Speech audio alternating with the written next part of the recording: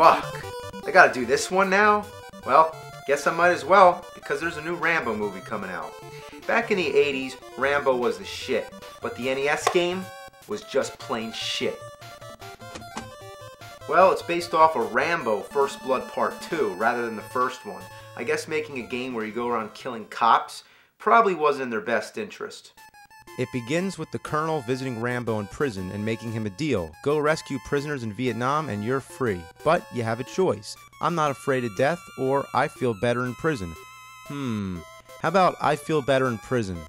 But it's up to you. The game doesn't start until you say yes. What's the point of having an option then? I'm saying leave me the fucking prison, but then again, I might as well not even put the game in if I'm gonna say no. That's like in the movie if you would have said, John, the movie can't continue till you say yes. So the game begins, you're just walking around the hangar talking to people. Rambo looks like some shirtless guy wearing red spandex. So you just walk around, talk to this person, talk to that person, then finally go to the colonel one last time where he says, You've got 36 hours to get in, complete your assignment, and get the hell out. The first swear I recall from a video game. Then the plane drops you off and the action finally begins. You spend most of your time just killing snakes, bugs, and other small animals with a knife. It's actually a complete clone of Zelda 2. Yeah, that's right, that's the flying sword, or knife in this case, the numbers that appear when you kill the enemies, the way you talk to people, dark caves which require a lantern to light the way, and overall the layout is similar. Now, speaking of the knife, that's one of the most disappointing aspects about this shitwad of a game. Why am I not using a machine gun, like the front cover? Why am I just fighting snakes and bugs? This is exciting. Doesn't this remind you of the movie? Remember when Rambo has to fight a giant spider? I don't. Eventually, you start to fight appropriate enemies, and you do gain an inventory of weapons such as flying daggers, arrows, and grenades. Man, who the hell throws grenades at a tiger anyway? You also get a machine gun, but this doesn't happen until much later in the game. The problem may not be that the game doesn't follow the movie, it actually follows the movie way too much. Almost every key scene is recreated through character dialogue, but who cares? It's almost like they focus too much on the story rather than the overall gameplay. When Rambo meets the girl for the second time in the game, you're given an option. Rather than conducting business, you can say, What do you think of me? The game doesn't advance until you stop asking this, so what's the point? And how cocky can Rambo be to expect a compliment? She could have said, What do I think of you? You look like a hairless gorilla, and when your mouth is open, you really freak me out. There's times when you have to follow her, but all she does is walk back and forth, so you're actually supposed to go meet her somewhere. But where the fuck that is, is up to you to find out. Now, that's the biggest problem of this game, finding out where the hell you're supposed to go. You stand on these little boxes that say N for North and S for South, you push up and then go to the next screen, and it's just like in Friday the 13th where you can change paths, but it's confusing to navigate because everything looks the same. If you keep walking in the same direction, the stage just repeats over and over. Sometimes you think you're making progress, but then you realize that you're doing laps over the same stretch of land.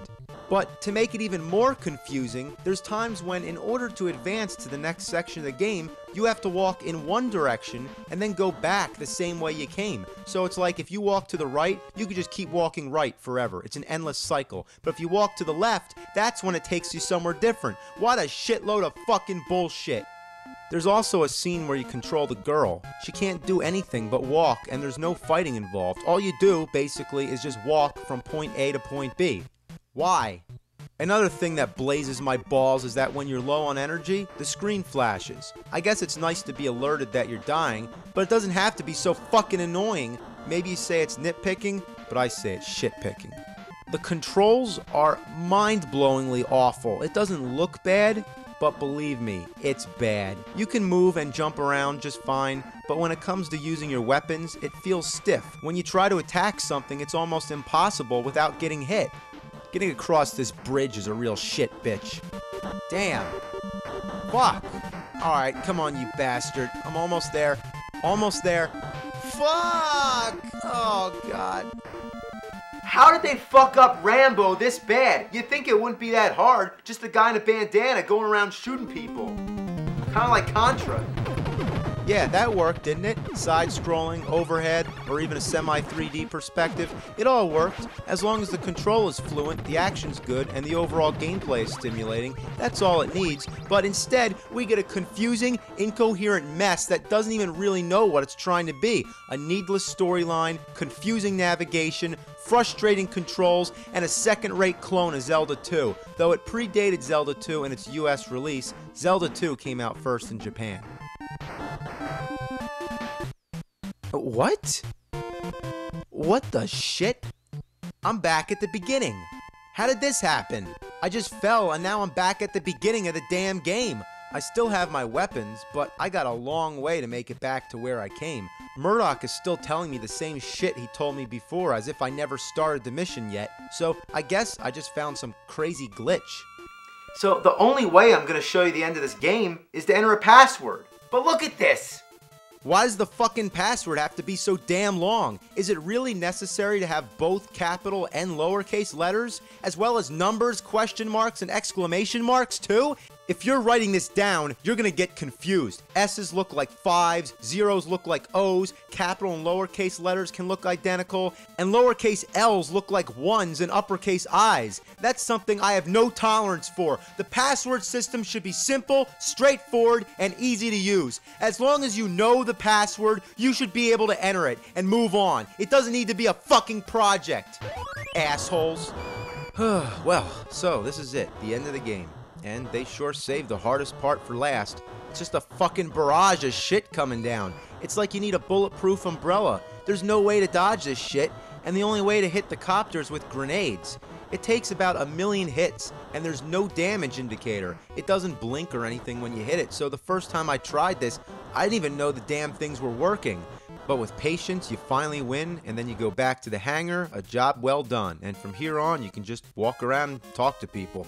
And there's Murdock, that bastard. Get out your machine gun, you shoot him, and he turns into a frog. Yeah, you shoot Chinese letters, and he turns into a frog. Just what I expected.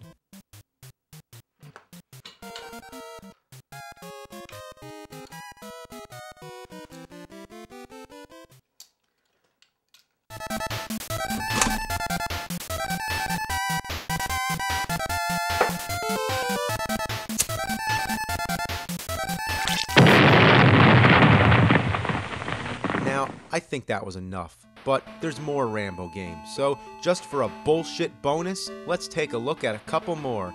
Here we have Rambo First Blood Part 2 on the Sega Master System. Now, okay, this is more like it. Starts up with the action right away, you're just going around shooting people, and on top of that, it's two players. We know that this is Rambo, but who's this guy? But anyway, it doesn't matter. The controls are basic. Number one shoots bullets and number two fires exploding arrows. You give him a little number one, you give him a little number two. number two. Well, at first it seems like a decent game, but it's also very frustrating because you move incredibly slow, you can't shoot down, and the bullets don't go far. They also look like ping pong balls. The game reminds me of Ikari Warriors, and it suffers from the same problems, though the levels are not nearly as monotonous. But one thing that happens is if you die, you can reappear in an obstructive place and get stuck. You're trapped. I mean, there's nothing you can do other than just hope to get hit by enemy fire so you can reappear somewhere else. Another weird thing that happens frequently is that after you come back, you know, when you're in that brief invincible flashing stage, the controls get locked. You can only move left and right. I mean, this seems to happen mostly on the second player for some fucking reason. Other times while you're flashing, you can walk across the water. Who does Rambo think he is? Jesus Christ? Well, let's check out Rambo 3, again on the Sega Master System. Now, this one's going to be fun because it uses the light gun. Unless the fucking thing doesn't work. Kinda works. I mean, I guess you just gotta wave it around, like Rambo. Rambo never shoots straight.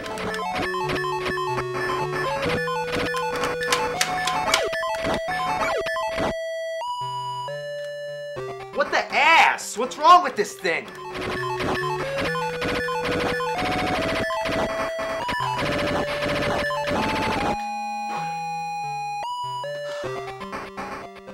piece of shit.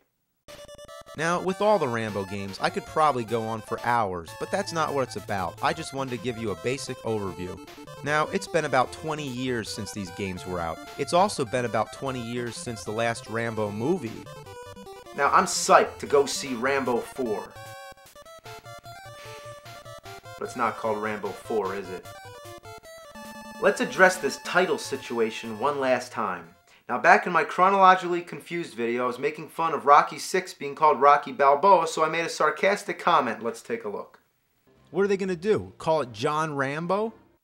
And what do they do? That's what they call it. And I feel bad. I feel like I picked on a retard or something. Like, what are you, retarded? Oh, I'm sorry. But then what do they do? They change it again to just Rambo. Like, is this a sequel or a remake? It couldn't get any more confusing. Even though the original movie was called First Blood, people often refer to it as Rambo. But in the second movie, they downgraded First Blood into a subtitle calling it Rambo First Blood Part 2. But the Nintendo game is just Rambo, as well as the Sega version. Even though the box says the full title, the game itself and even the title screen just say Rambo. So technically, the immediate title of the second movie is Rambo.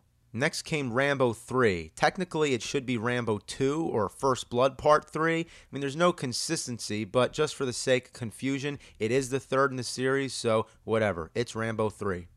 But then comes Rambo.